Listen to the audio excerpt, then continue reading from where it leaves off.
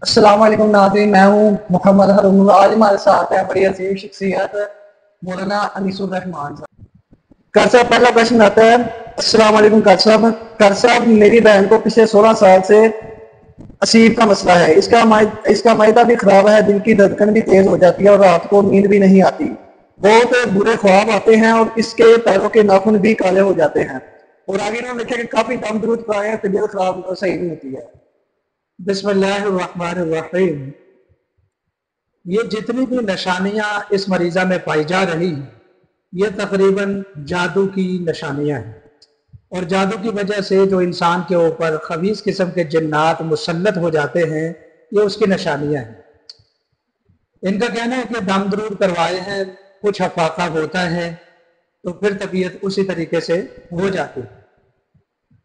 یہ در حقیقت جو شیاطین مسلط ہوتے ہیں، جب آپ کلام پاک پڑھواتے ہیں کسی عامل سے، وہ اللہ کا قرآن پڑھ کر دم کرتا ہے، اسماء حسنہ کے ساتھ دم کرتا ہے، تو کچھ عرصے کے لیے یہ شیاطین پیچھے ہٹ جاتے ہیں۔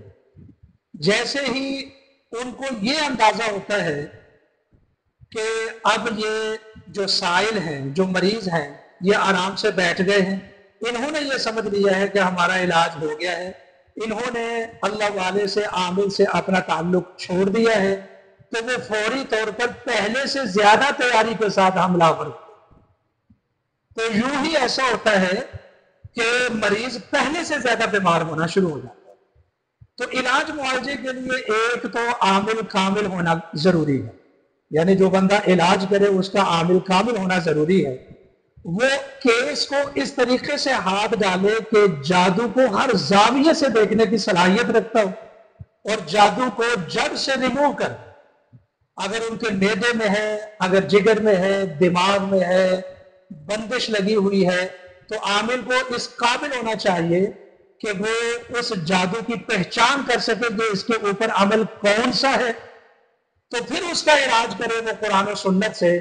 انشاءاللہ جب کیس مکمل طور پر شیشے کی طرح صاف ہو جائے گا تو پھر دوبارہ مسائل نہیں ہوں گے۔ تو مولانا صاحب، ان کو علاج کرانے کے لیے کیا کرنا چاہیے؟ آپ سے کنٹیکٹ کرنا چاہیے ادھر آنا چاہیے آپ کے دفتر ان کو دونوں طریقے ہیں۔ بے شک یہ ہمارے ساتھ رابطہ کریں۔ ہم الحمدللہ مختلف قسم کے کورسز کرواتے ہیں مریضوں کو کہ جادو جنات جڑ سے ختم ہو جاتا ہے۔ اور نو دنوں میں بھی ختم ہو جاتا ہے، ایک ہفتے میں بھی ختم ہو جاتا ہے، بلکہ ایک خاص عمل ہے کہ ایک رات میں بھی ختم ہو جاتا ہے۔ یعنی اس طرح بھی۔ اور اگر خود سے علاج کرنا چاہیں اپنا، تو چند چیزوں کو معمول بنائیں، نماز کی پابندی کریں اور ہر وقت وضو رہنے کی کوشش کریں۔ اور اسی طریقے سے مریض خود، یہ مریضہ ہیں، یہ خود یا پھر ان کے گھر والوں میں سے کوئی بھی۔